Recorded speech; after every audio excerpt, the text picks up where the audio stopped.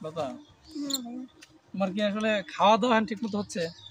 কই খাওয়া দাওয়া খাওয়া দাওয়া কোনো সমস্যা প্রবলেম এখন এখন আর অতটা খাই মনে করছে না। মানে ভাত পেটে যাচ্ছে গেলে পরে কেমন যেন লাগে। বলতে? মানে পেটের থেকে বের হয়ে আসতে চায় যদি থাকে না বুঝতে পারছেন? এখন এখন ওই মানে যে সমস্যা প্রথমত অবস্থা হয় সেই সমস্যা এখন মানে জিজ্ঞেস করেছে অবশ্য। তো করল যে ওই মানে বাবু বড় হয়ে গেছে তো বাবু গুড়া গুড়া দেয় আর তোমার ওই হচ্ছে ওই সমস্যা বাবু বাবু যেটু খাটুক পেটে রাখে না। মানে ও ভাত পরে পেটে ওর গার পর পরে ওইটা সহ্য করে পায় না ই করে আর গায়ের বার পড়বে কে? ও তো ওর জায়গায় আলাদা ভাতের জায়গা আলাদা। এখন কি এর জন্য খাইতে পারিনি জানিনি তো। ঠিক আছে ও তো সমস্যা হলো মানে পেটের খাওয়ার জায়গাটাও দখল করে নিছে। তাই তাই হবে আর কি। যে খাইছই তো জীবন ভর আর কত খাব? এত সুস্থ খাওয়া লাগবে। খাওয়া না খেলে তো তোমার শরীর ঠিক থাকবে না খাবার পারিনি যে ভাই এখন ভালো তো হলেও খাইতে পারিনি খারাপ তো হলেও খাইতে পারিনি। এই সাত মাস পরে মন চায় না আগে তো এটা ওটা মন চায় তো। মানে একবার সে দুইবার অল্প অল্প করে খাইতে পারি। ওই আগের মতো পেট ভরি পেটের মধ্যে খিদেই থাকে কিন্তু খাবির গেলে পরে খাওয়া যায় না। যাক জীবনে বেঁচে থাকলে বহুত খাব। নাই বাঁচলাম এখন। বাইসে থাকলে তো বহুত খাইতে পারবে না। হ্যাঁ তাই তো। আমার কাছে আমার সন্তানই আগে বোঝেন নাই। পৃথিবীর যেই যেই যেই বিপদে আসুক না না মানে যেই কষ্টটাই আমার হোক না কেন আমার যদি আর যদি একজন এসে কইলো যে তোমার পৃথিবীতে থাকার দরকার নাই তোমার সন্তান পৃথিবীতে আসে আমার সন্তান আসবে আমি আগের থেকে আমি এই কথা আমাকে আপনি কথাটা বললেন কথাটা মনে পড়ল। যখন আমি চার মাসে বাবু দেখাইতে যাই তখন আন্টি আমাকে বলল যে আমি তোমাকে একটা প্রশ্ন করি। আমি বললাম যে হ্যাঁ করেন। কয় আমার মা পাশে দাঁড়াল এসে কছে এটা তো তোমার মা তাই না? আমি বললাম যে হ তোমার মা যখন তোমাকে নিয়ে আসছে তখন কিন্তু জীবন যুদ্ধ করছে বুঝতে পারছ? তো আমি বললাম যে হ্যাঁ করছে তো আমি তো সেটা জানি। কয় তুমিও তো মা হতে চাচ্ছ। তো হচ্ছে তোমাকে একটা প্রশ্ন করি। এখন যদি আমি বলি, ধরো আমরা বলি যে তুমি থাকবে না, তোমার সন্তান থাকবে, এটার উত্তর কি পাবো আমি তোমার কাছ থেকে? আমি বললাম যে, আন্টি, আমার ওটার উত্তরের কোনো এই নেই। আপনি আমার সন্তানকে যেভাবে ভালোভাবে আপনি নিয়ে আসতে পারবেন, সেইভাবে নিয়ে তার বাবার হাতে দিয়ে দিবেন। কয় তার বাবাকে? আমি বললাম যে, কেন? ওই হচ্ছে রুমের বাহিরে আছে। কয় ও আচ্ছা তোমার তার বাবার সাথে তো আমার কথা তুমি যদি দুনিয়াত নাই থাকল মনে করো তুমি দুনিয়াত নাই তাহলে সন্তান আসলো তাহলে তোমার লাভ কি?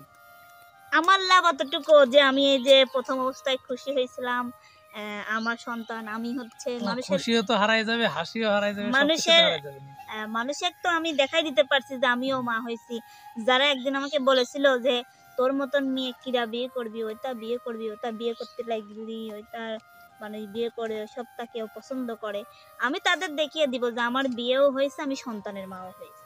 শুধু এতটুকু হয়েছে তোমার জীবন সার্থক তবে আমার আমার আগের জীবনে আগের লাইফে কি হয়েছে সেটা ঠিক না। তবে আমি অবশেষে হয়তো বা আল্লাহর কাছে কেঁদেছিলাম সেই কারণে হয়তো আল্লাহ আমাকে সঠিক মানুষটাই দিয়েছে।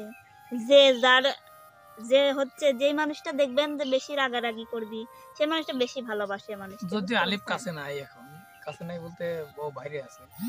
আলিফের আড়ালি বলি। আসলে কিন্তু আলিফ লতাকে কীরকম যত্ন করে বলো তো? আমাকে অনেক যত্ন করে ঠিক আছে? আমাকে এক জায়গায় রেখে গেলে পরে ওর মানে অনেক টেনশন হয়। ঠিক আছে? অনেক অনেক ভালোবাসে। যেটা একটা মানে বলার মতো না বলে শেষ হবে না বুঝতে পেরেছেন? শুধু টাকা পয়সা থাকলেই যে ভালোবাসা তার মধ্যে আছে তা তো না। কিন্তু আমাদের মধ্যে টাকা পয়সা নাই আমি আমি মনে করি আলিপ আমার কাছে হচ্ছে একটা রাজকুমার ঠিক আছে? আমি আলিপের থেকে অতটা সুন্দরও না আমি এটা ওকে প্রথম থেকেই বলছি। এই জন্য আমি কিন্তু ভাই যদি পারতাম যদি পারতাম আমি কিন্তু ওকে আমার ছবি দেখাইয়া বা বলতাম যে আপনি শুধু আসেন আমি আপনার সাথে বিয়ে করব। এটা বলতাম কিন্তু এটা কিন্তু আমি পারলে বলতাম। কিন্তু আমি ওকে ফার্স্টেই বলেছি যে আমি কিন্তু এরকম ওরকম এটা শুধু আপনি দেখলে চলবে না আর আপনি তো আমাকে ছবিতে দেখছেন। ছবি তো তো ভিডিওর মধ্যে তো আমাকে এডিট করে বা ই করে দেয় ওটা তো সুন্দর দেখাই যায় ছবিতেও ভালো দেখা যায়। হ্যাঁ। আপনার দোহাই লাগে আপনি আপনার বাবা মা বা আপনার যার যে আছে তাদের সাথে করে আমাকে বাস্তবে দেখে যাবেন আমি আপনার হাইটে কত বা আপনার লম্বাই কত আপনার থেকে কীরকম আমি সত্যি ভালো কি না ও আমাকে এই কথাটুকু বলা দেখে ও ভাবেছে কিরে এখনকার যুগের মেয়েরা তো ওরকম কথা বলতে চায় না সামনাসামনি। তারপরে বলছিলাম যে সামনাসামনি দেখা হলে যদি ভালো লাগে তাহলে বিয়ে করেন না হলে দরকার নাই। আমি কিন্তু এটা বলেছিলাম। কিন্তু ও আমাকে যখন প্রথম দেখে আমি ওকে যখন প্রথম দেখি ও আমার থেকে অনেক লম্বা তাও অর্ধেক লম্বা ঠিক আছে? তো আমি ওকে দেখলাম দেখতে ভালোই দেখা গেল। তো আমি মনে মনে ভাবলাম যে না আমি এই ছেলের সাথে তো আমার যায় না। ওকে আমি বলব যে আপনাকে আমি বিয়ে করব না আপনি হচ্ছে আমার থেকে ভালো মেয়ে পাবেন সেই মেয়েকে বিয়ে করেন না। তো দেখলাম যে ওর ও আমার প্রতি ওর একটা মায়া কাজ করছে। ও আমাকে দেখার পর থেকে যে কিছু কিছু মানুষ আছে হয়তো বলতে পারতো দেখ এত তুই তোর মতন মেয়ে দেখতে আসলাম এত দূর থেকে। কিন্তু ও যখন আমাকে দেখল বা আমার আমাদের বাড়িতে কিন্তু ওরা এক রাত ছিল সারা রাত কথা মানে বললাম প্রথম দিন আসছিল হ্যাঁ হ্যাঁ। আলিফের মা আর আলিফ। আলিপের মা আসছিল আর হচ্ছে আলিপের কাকা আসছিল আর খালু আসছিল ছোট ভাই আসছিল তার তার বড় বাডা আসছিল মানে আমার দেওররা আসছিল সব- মানে পাঁচ ছয় জন পাঁচ ছ জনের মতন লোক ঠিক আছে? সেই সেই সবার সামনে আমি বলব আমি মিথ্যা কথা বলার কি আছে ভাই? না না ওদের দেখার অধিকার আছে। আমি কি একদিন হলেও যাব না এখন এখন এই আপনার একদিনকে তোমার বাড়ি তো এখন গোপনে বিয়ে করে রাখছে। এখন আমি কীরকম তারা যদি পরবর্তীতে আমাকে দেখে শুনে নিলে তখন আর কোনো কথা বলতে পারবে না। যে না আমরা দেখে শুনে নিয়ে আইছি। তো এই জন্যই আমি ওকে আসতে বলছিলাম কিন্তু আর কোনো ছেলে হলে ধরেন আমি তো দেখলাম যে কার কত ফকির মানুষের বেশি ভাবতো বুঝেন নাই? আর সিহারা আলা মানুষের তো আরও ভাব বেশি। আর কোনো ছেলে হলে হয়তো বা আমাকে বাড়িতে যায় দ্বিতীয়বার আর আমাকে ফোনও দিত না আমার সাথে যোগাযোগ করতো না এখানেই আমার মা বাবাকে অপমান করে চলে যেত কিন্তু আমার আমার এটা বিশ্বাস করতে হবে যে আমার আলিপও অনেক কষ্ট পাইছে জীবনে কোন কারোর জন্য হয়তো বা কারোর জন্য কষ্ট পায়ে ও এটা বুঝতে পারছে যে একটা মানুষের মন ভাঙা আর নসিব ভাঙার সমান কথা। তো এজন্য আবার আমার কাছে ফিরে আসছিল। ফিরে এসে যে এখন এখন অব্দি আছে। এখন অবধি আছে। আশা করি আজীবন থাকবে। এতটুকু সবার কাছে দোয়া চাওয়া। তবে অনেকেই ওকে আমাকে দেখে অনেকে হিংসা করে মানে অনেক রকম কথা বলে ওঠে। হচ্ছে গা যে এদের আর্ধেককে তো দেখে বাঁচি না আর্ধেককে তো দেখে বাঁচি না। এখন সামনাসামনি কেউ না সামনাসামনি কখনো কেউ কিছু বলে না। কিন্তু সামনাসামনি আমার নিজের মানুষরা বলতে পারে ঠিক আছে? কিন্তু বাহিরের কোনো লোক আজ পর্যন্ত বলে নেই। কিন্তু আমার দিয়ে অনেকেই অনেক রকম আমার কাছ থেকে চলে যেতে বলে আমার কাছ থেকে থাকতে না করে আমি কিছু দিব না ওকে এখানে থাকি কি লাভ? আবার হচ্ছে আমাকে নিয়ে ঠেলায় রেখে চলে যেতে বলে আমার থেকে ভালো মেয়ে পাবে। এসব কথা ও যদি আমাকে বিশ্বাস না করতো তাহলে তো ও তো আমার কাছে বলতো না ঠিক আছে? তাই ও আমাকে অনেকে তো আসলে ওর যে সবাই ভালো চায় এমন তো না। ওর, ওরও হয়তো ওর ফ্যামিলিতে এমন হয়তো কেউ থাকতে পারে যে পছন্দ হচ্ছে না তোমাকে বুঝো নাই? সে তো আলিফ তোমাকে পছন্দ করে বিয়ে করছে। অন্য কারও হয়তো এমন হইতে পারে যে পছন্দ হচ্ছে না। এমনও হইতে পারে। না ওর ফ্যামিলির মধ্যে থেকে আমি কারোকে এরকম কথা বলা দেখেও নেই কিন্তু আমার ফ্যামিলির মধ্যে থেকে আমি বলা দেখছি। নিজের মানুষ যাকে জীবনের চাইতে বিশ্বাস করি যার জন্য মানে মানে অনেক আফসোস করি তারাই ঠিক আছে?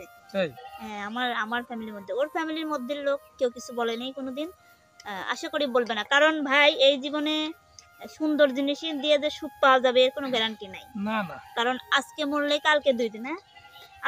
বাইসে থাকলে তো বহুত খাইতে পারবে না। হ্যাঁ তাই তো। আমার কাছে আমার সন্তানই আগে বোঝেন নাই?